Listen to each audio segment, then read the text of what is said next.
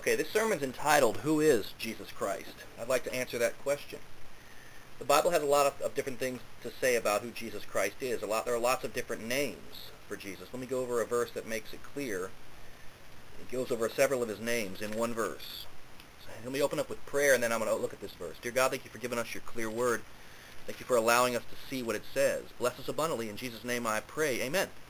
Now, Jesus Christ has lots of names it says in Isaiah chapter 9, verse 6, For unto us a child is born, unto us a son is given, and the government shall be upon his shoulder, and his name shall be called Wonderful, Counselor, the Mighty God, the Everlasting Father, the Prince of Peace. Now look at that, all these different names. This describes Jesus Christ, the Son, the, the Son of God. So there's lots of different names for Christ. So let's just go down the list and let's just go over what the Bible says who Jesus Christ is. Number one, he's equal, he's co-equal with God. Okay? John 10:30. Read. Let's go ahead and turn there. Turn to John chapter 10.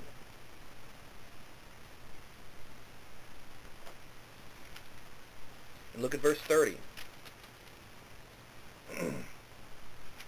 it says, I and my Father are one. So they're one and, in the same. Number two, Jesus Christ is God's uniquely born Son. John 3.16 makes that clear. Uh, John 3.36, he that believeth on the Son hath everlasting life. And it, it lets you know it lets you know that I and my Father are one. So obviously Jesus Christ is God's Son. But there's one more. Let's look at another verse on that. 1 Corinthians chapter 1. 1 Corinthians chapter 1, look at verse 9. It reads, God is faithful by whom ye were called unto the fellowship of his Son, Jesus Christ our Lord. So that, that's another verse that proves that Jesus Christ is the Son of God. And we need to put a lot of emphasis on that because a lot of false religions out there don't believe this.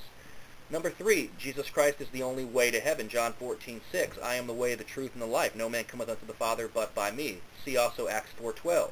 There is no other name given among men whereby we must be saved. So he's the only way.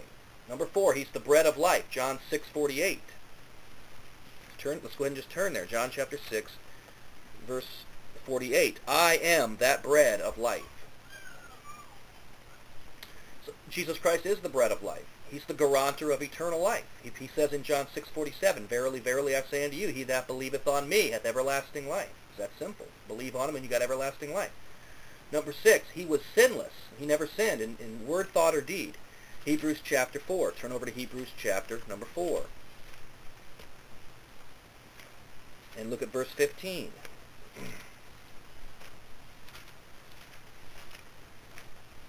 It reads, let's see, let me go ahead and just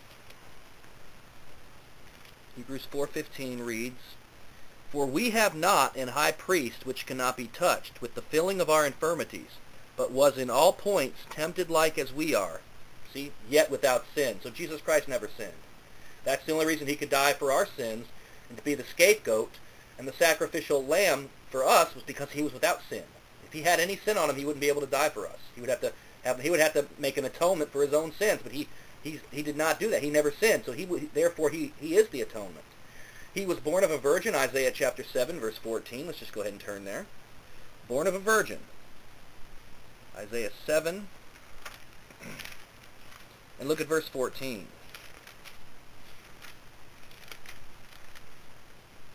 Therefore the Lord himself shall give you a sign. Behold, a virgin shall conceive, and bear a son, and shall call his name Emmanuel. Emmanuel means God with us. And God is with the believer and never will and will never leave the believer. He says in Hebrews 13:5, I will never leave thee nor forsake thee. So that's once saved, always saved. Okay, now he's he's virgin born. He is the savior of the world. John chapter four. He's the sa- That means he, he died for everybody. He didn't just die for the elect. That's a bunch of baloney. That's a that's a bunch of demonic, wicked stupidity. He died for everybody. But see, it's not going to do somebody any good if they don't receive eternal life as a free gift by faith alone in Christ alone.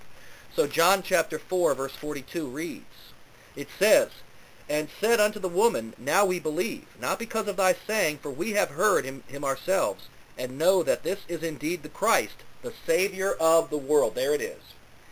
Now, he is, uh, let's see what else does it say. He is eternal life.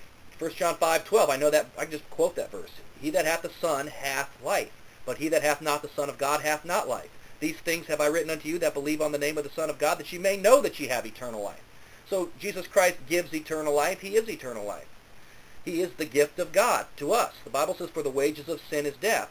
But the gift of God is eternal life through Jesus Christ our Lord. John 3.16, for God so loved the world that he gave his only begotten Son.